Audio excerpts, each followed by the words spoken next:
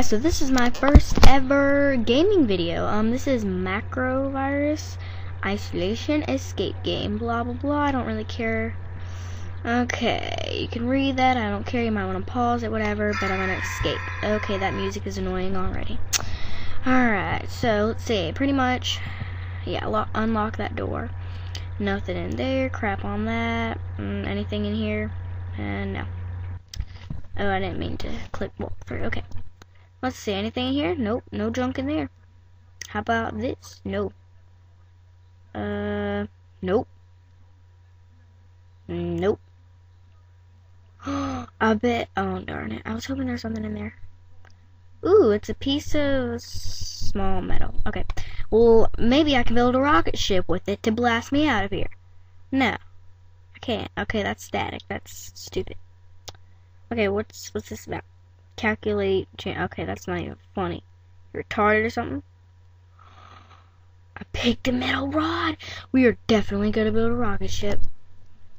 And for anybody that wants to be really rude and be all like, "Oh, how dumb are you?"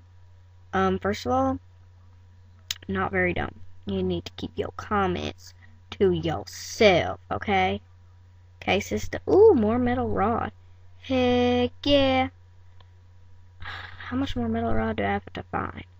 This is retarded. What else do I have to find? Where would more metal rod be? I don't know. Let's click on here. Oh, I actually got it. Oh, what is this? I made a special key. Okay, um, what's this? Do I put that in the keyhole or something? Oh, sweet. Oh my gosh. Okay. Alright, I will come back when I finish this.